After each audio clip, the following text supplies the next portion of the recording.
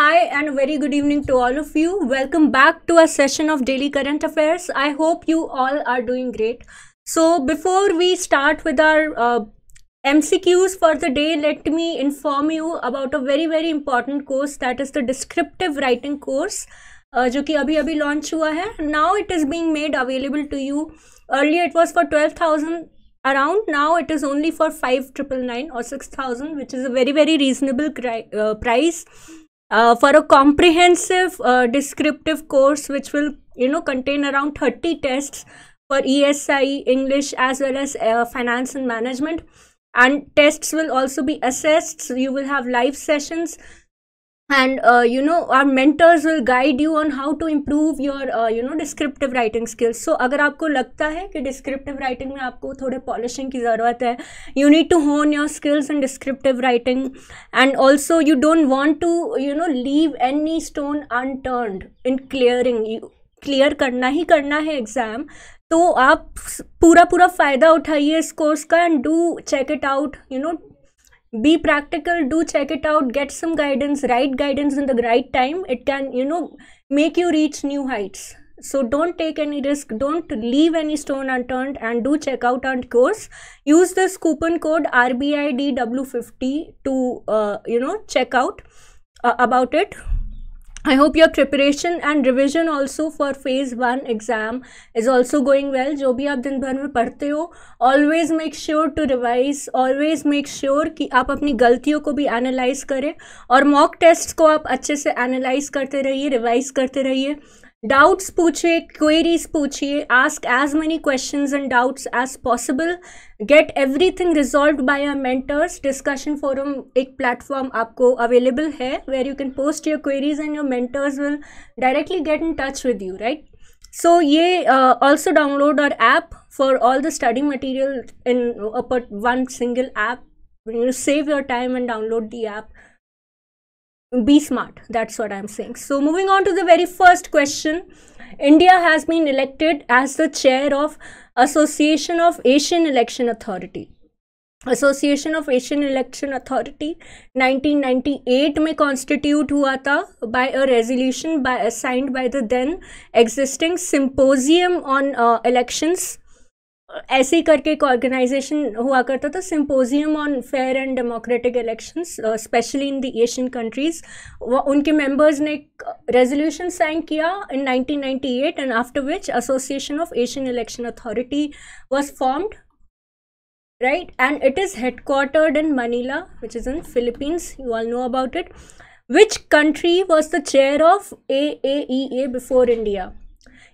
India abhi abhi uh, by a resolution passed by all the member countries of AAEA India has been elected as a new chair this information is given to you कभी कभी आपसे इसका preceding member या preceding chair भी पूछ लेता है किसी बैंक का सीईओ चेंज हुआ है तो आपको सीईओ का नाम क्वेश्चन के स्टेटमेंट मिल जाएगा but it will ask you whom did the person succeed right so ये सारे डिटेल्स भी आपको ध्यान में रखने होते हैं so basically India has succeeded Manila इससे पहले money Philippines Manila was the chair of A A Philippines is the correct answer है सो कमीशन ऑफ़ जैसे इंडिया में इलेक्शन कमीशन ऑफ़ इंडिया इसी तरह मनीला में सॉरी फिलीपींस में commission on elections है which was the chair of A A और A ए में न्यू मेंबर्स जो अभी रिसेंटली ऐड हुए हैं these are Russia Uzbekistan Sri Lanka Maldives China and Philippines so A का ऑब्जेक्टिव क्या है बेसिकली टू प्रोवाइड एक नॉन पार्टिसन फोरम है it is a non partisan forum uh, aims to share best practices for free and fair democratic elections, good governance, especially in the Asian region. तो Uzbekistan and Russia जैसी countries भी अब इसके members हैं तो it is very very significant और uh, हम A A E A is also a member it is also a member of A web hundred and eighteen member countries का एक बहुत बड़ा ऑर्गेनाइजेशन uh, है A web which is known as the association of world election bodies association of world election bodies का भी member है A A and A A has collaborated on various issues it has collaborated on various issues with the election commission of India also हमने पिछले current affairs में in april or march maybe uh, we uh, covered a topic uh, about about an international uh, elections IIED एक conference हुआ था that was conducted by the election commission of India so that IIED conference, third international virtual election visitors program, sorry IEVP program election commission of India ने 2022 में ये conduct किया था international election visitors programme जो कि A वेब usually organise कराता है। एंड हर साल इसको इंडिया ही कंडक्ट करवाता है। And that is your international virtual election visitors program it is always conducted by India only ever since its inception ये हम लोगों ने अपने करंट अफेयर्स के वीडियो में ऑलरेडी कवर किया हुआ है। Why am I telling you this in this current in this news is because A A E A इस इस मेंबर कंट्री का पार्टिसिपेंट इस इवेंट का पार्टिसिपेंट रहा है एंड ऑल्सो ए बहुत सारे capacity buildings and training program भी कंडक्ट करवाता है with the election commission of India you know to train the election management bodies in various Asian countries so ये सारे कुछ इनिशिएटिव्स थे, और जैसे, ऐसे इंपॉर्टेंट कॉन्फ्रेंसेज और इनिशिएटिव्स होते हैं, उसमें कभी कभी कुछ ऐसे थीम्स डिस्कस होते हैं that can come in your descriptive papers as well usually E S I में या एफ़ एन एम में आएगा नहीं but it can be asked in because English descriptive paper can be vast so any topic can be asked in that paper तो usually इस, ये जो conference हुई थी जिसमें इंडिया को एज अ चेयर इलेक्ट किया गया है, इसमें जेंडर न्यूट्रल पॉलिटिक्स के ऊपर भी एक इंपॉर्टेंट कॉन्फ्रेंस या डिस्कशन हुआ था with under the name gender issues in elections gender issues in elections के बारे में आप थोड़ा बहुत पढ़ सक पढ़ के जा सकते हो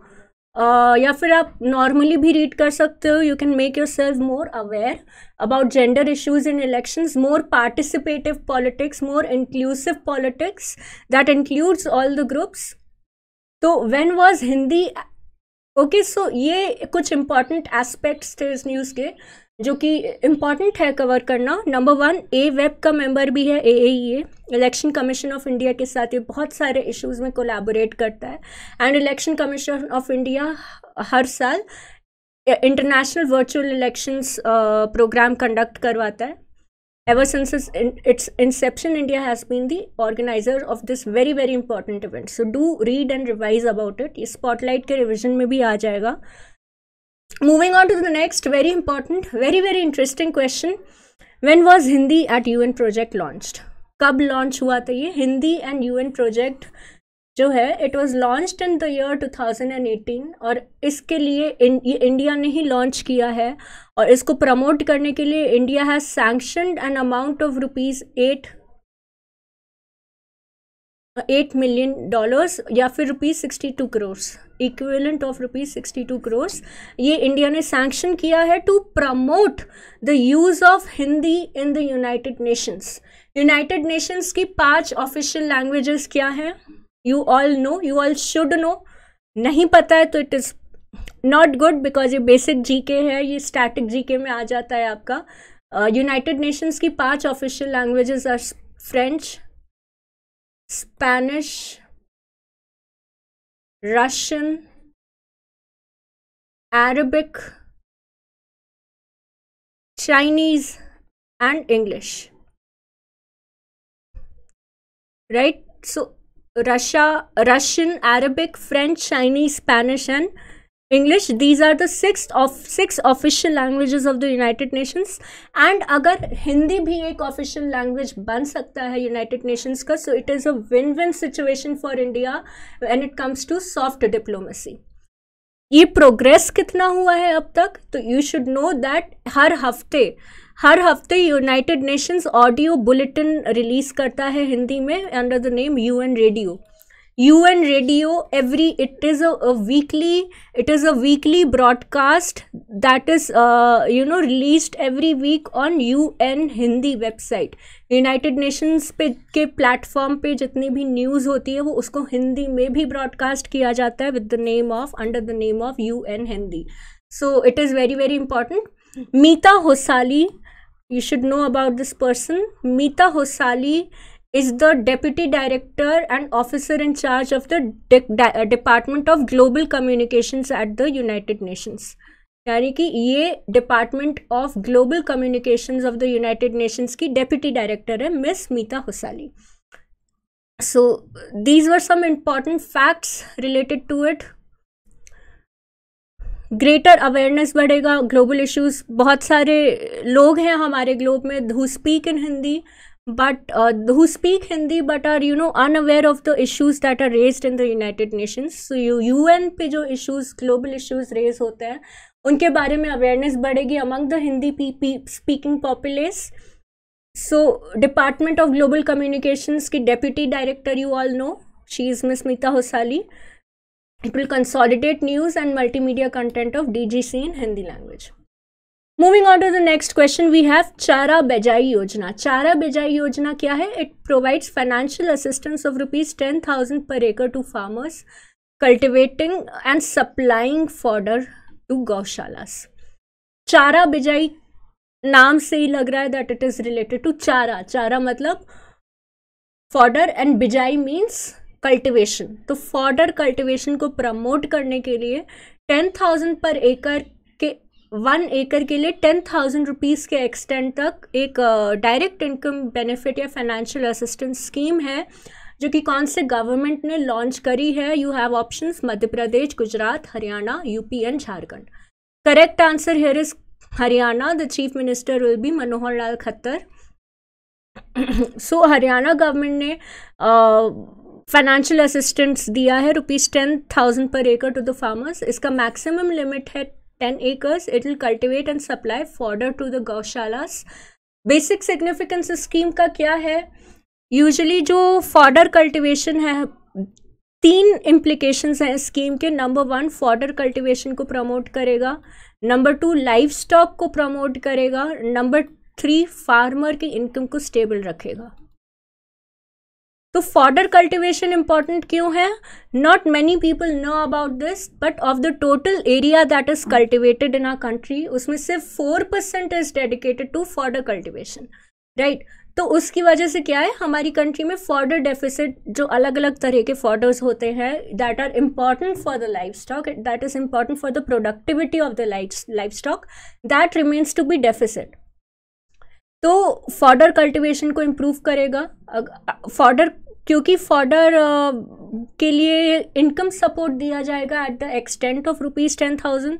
तो जितने भी लाइफ स्टॉक फार्मर्स हैं, उनको fodder at a cheaper price पे अवेलेबल होगा। So that will also promote life stock rearing of life stock among the farmers और अगर फार्मर्स लाइफ स्टॉक में इन्वेस्ट करते हैं they will also have an additional source of income and those farmers who are involve in fodder cultivation जो कि farmers बहुत छोटी छोटी लैंड होल्डिंग के हैं they can not grow a lot of crops crop diversification या large scale farmers तक नहीं जा पाते हैं वो। अगर वो अपनी फ़ील्ड में फॉर्डर को कल्टिवेट करते हैं तो उनको भी क्या मिलेगा? एक तरह का इनकम सपोर्ट मिलेगा। सो इन तीन एस्पेक्ट्स में ये बहुत ही इंपॉर्टेंट स्कीम uh, है ये फॉर्डर सोइंग स्कीम और आप सबको पता है कि development of agriculture in India is a state subject तो हरियाणा गवर्नमेंट का ये जो इनिशिएटिव है the this initiative by the government of Haryana it can basically serve as a model a model for all the other states to copy and replicate and improve the cultivation of fodder and you know rearing of life stock in our country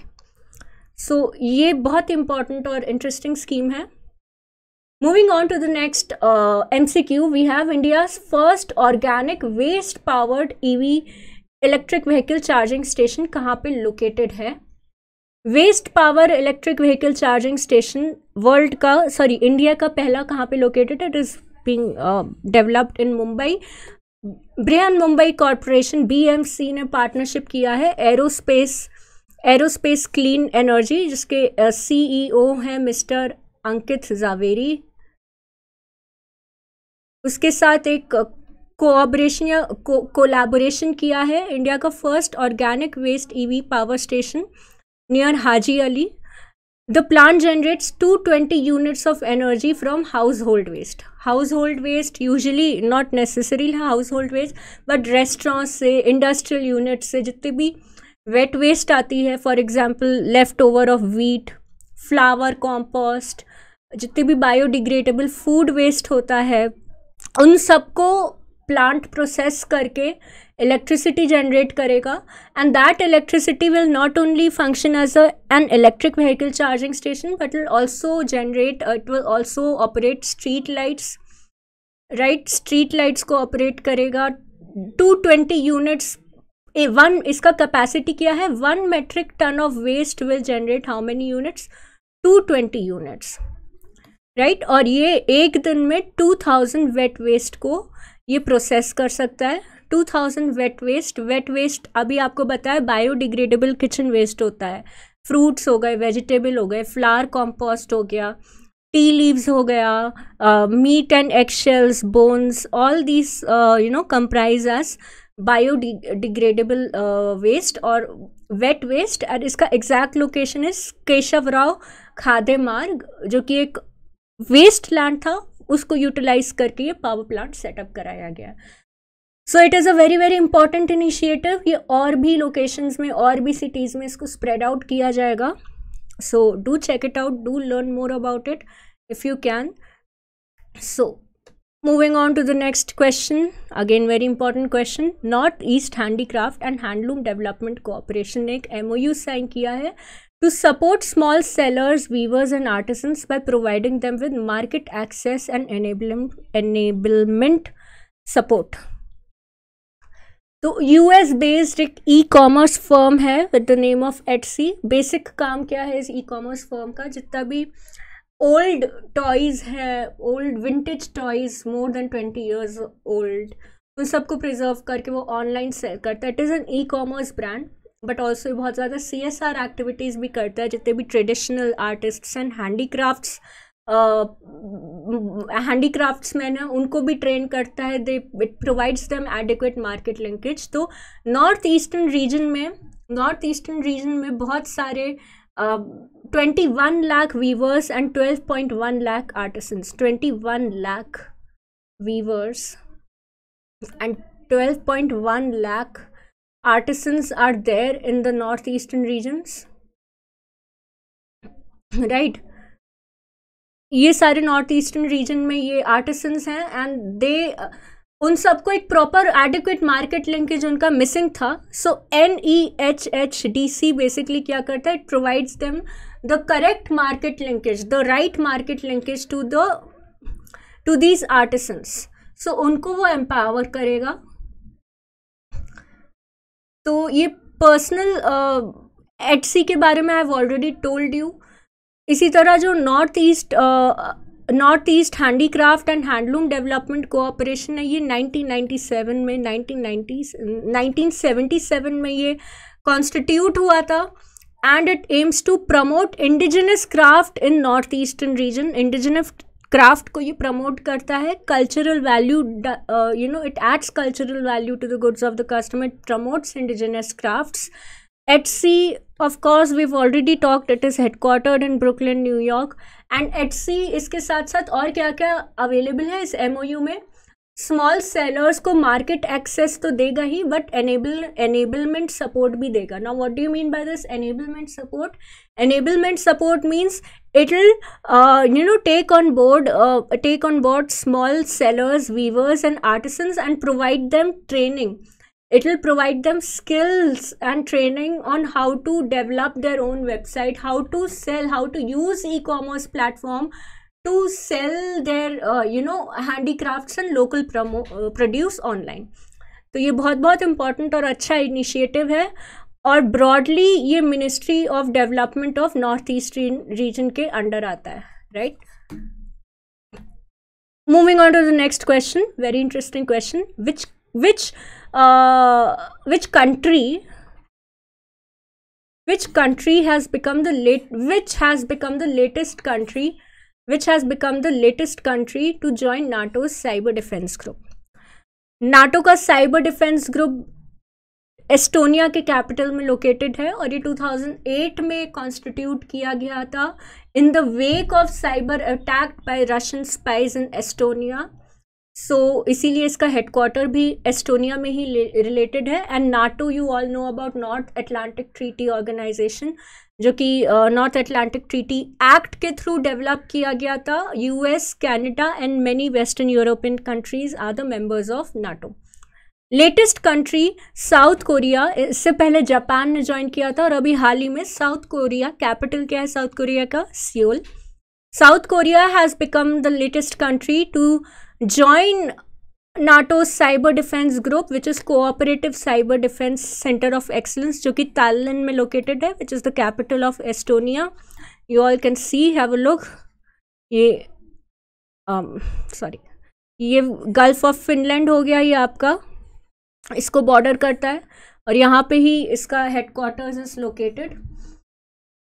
now how many members are there thirty two member countries are a part of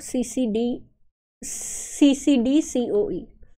right so क्या India NATO का member है? India NATO का member नहीं है. But but India and US in 2018 2018 में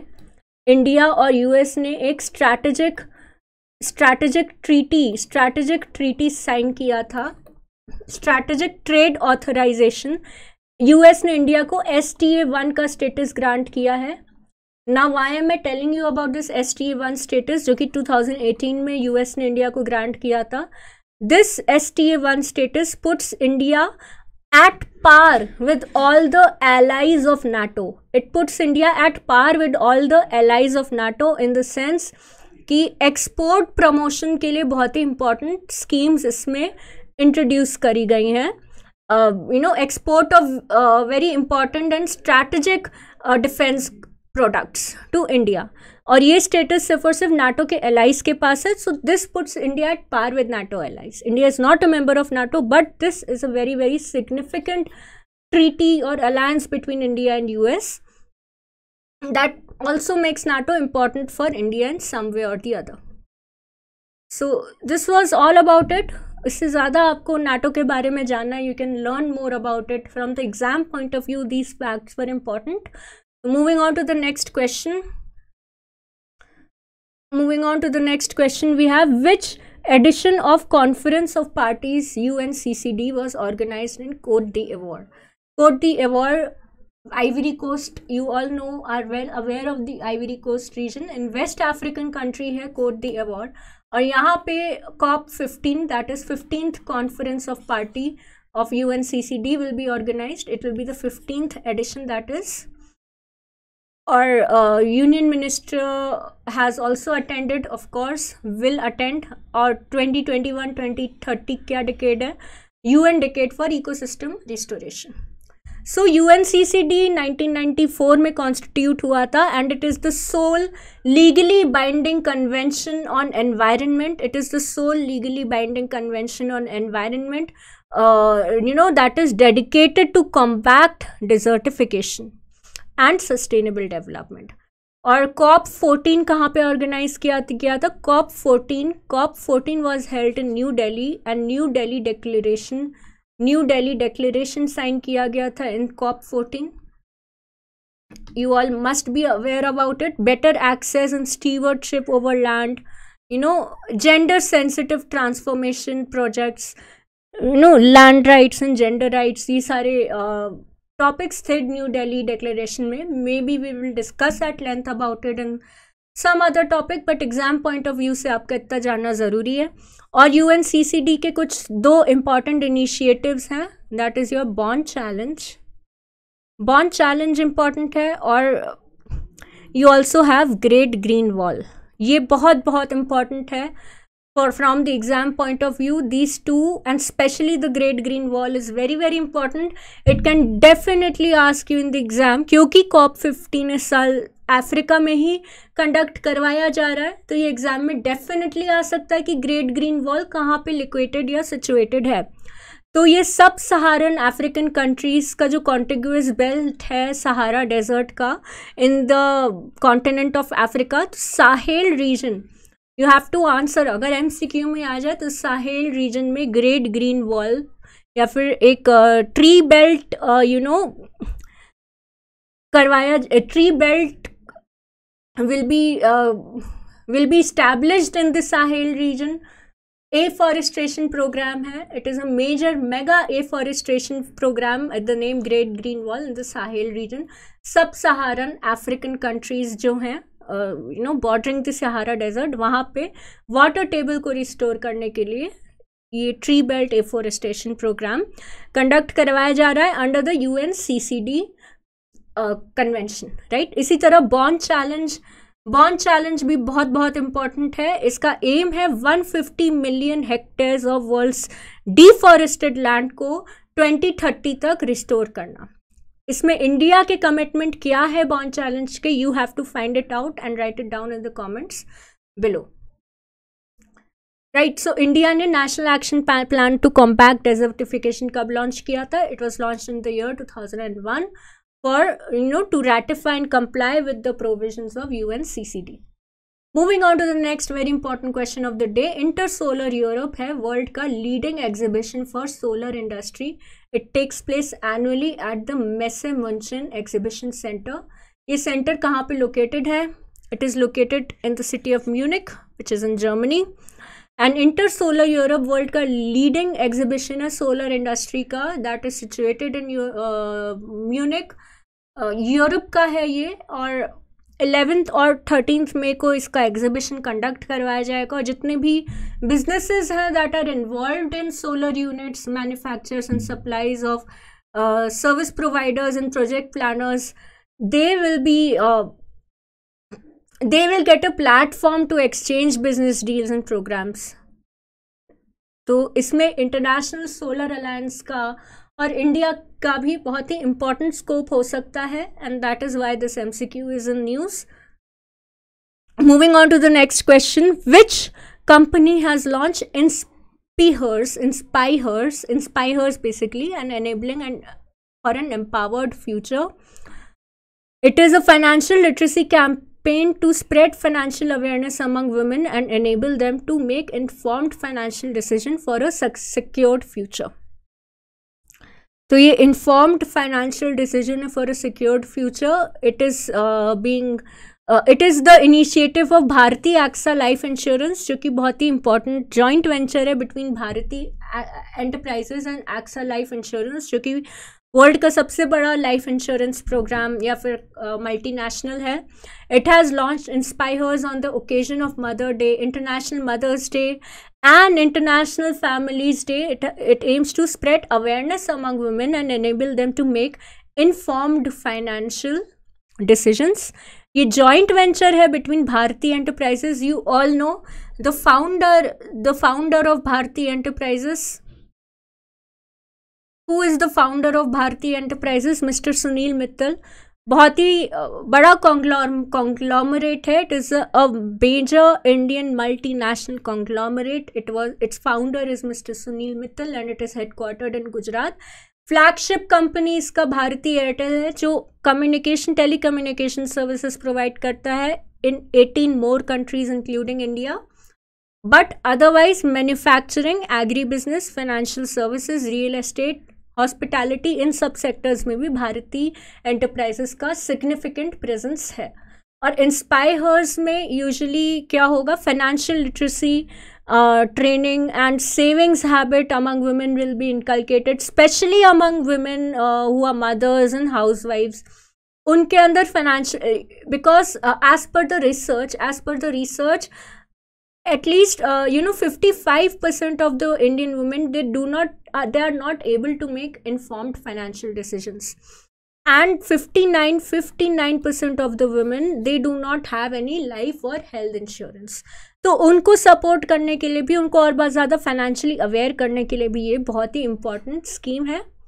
very important towards financial inclusion so exam point of view से it is very very important you you can obviously ये सारे एम आपके सिर्फ़ फ़ेज़ वन के लिए ही इंपॉर्टेंट नहीं है बट ये सारे एम आपके डिस्क्रिप्टिव पेपर के लिए भी उतने ही इंपॉर्टेंट है specially for finance and management and E S I जहाँ पे आप ऐसे छोटे छोटे स्कीम्स एंड इनिशिएटिव्स के बारे में you can write to gain more marks and to enrich your answer to make make it appear more knowledgeable and informed right तो ये सारे इंपॉर्टेंट फैक्ट्स आपको सिर्फ़ फ़ेज़ वन के लिए ही नहीं फ़ेज़ टू के लिए भी याद रखने बहुत इंपॉर्टेंट है and probably that is why I tell about it to you all in such detail तो ये आप याद रख लीजिए 59 percent of the women they do not have any health और लाइफ इंश्योरेंस राइट और 55 percent of the women they are not able to make any informed financial decision so और जब भी आप ऐसे परसेंटेज या रिपोर्ट्स के बारे में लिखते हैं Try to quote the source of that report which bank has partnered with Santander Bank UK for facilitating the bank requirements of corporates across both the countries. So Santander Bank usually एक form of एक sovereign bank है its base is actually in Spain but ये branch है UK का and which bank कौन से bank ने इसके साथ पार्टनर किया है correct answer here is H D F C bank H D F C sorry not H D F C bank I C I C I bank is the correct answer I C I C I bank has partnered with Santander bank in Britain तो जितने भी corporates होते हैं जो दोनों countries में operate कर रहे हैं, उनके बीच में जितने भी फाइनेंशियल ट्रांजेक्शन हैं, उनको फैसिलिटेट करने के लिए संतानर बैंक को, के साथ आईसीआईसीआई बैंक ने एक पार्टनरशिप करा है। तो जितने भी इंटर बैंक फाइनेंशियल ट्रांजेक्शन्स होते हैं like a bank in India is initiating a financial transaction for से a bank in Europe usually बहुत ही इंपॉर्टेंट ऑर्गेनाइजेशन है, बहुत ही इंपॉर्टेंट ऑर्गेनाइजेशन है name with the name of SWIFT SWIFT transactions क्या है? It is a messaging inter bank messaging organisation जो कि इंटरनेशनल बैंक्स में फाइनेंशियल ट्रांजैक्शंस को फैसिलिटेट करने के लिए बहुत बहुत सिग्निफिकेंट है. Do learn more about it it will be included in your startup जी के very very important organisation from the exam point of view उसके साथ on side note UK has now become the six largest source of foreign direct investment in India's economy with inflows of US $31.7 billion contributing to 6% of India's total FDI inflows.